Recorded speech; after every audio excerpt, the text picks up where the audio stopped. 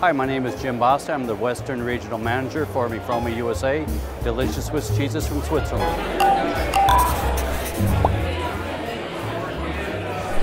In our case today, we have our traditional Gruyere, which is aged five months in a natural cave, and then our Cavern Reserve, which is aged 11 months. Each of these wheels are hand selected by our cheese affineur when it comes into our facility at Ursy, and they make the decision which cheeses are quality enough to move on to be Cavern Reserve. We do have some new items that are just available as we've now put the Gruyere in portionable cups.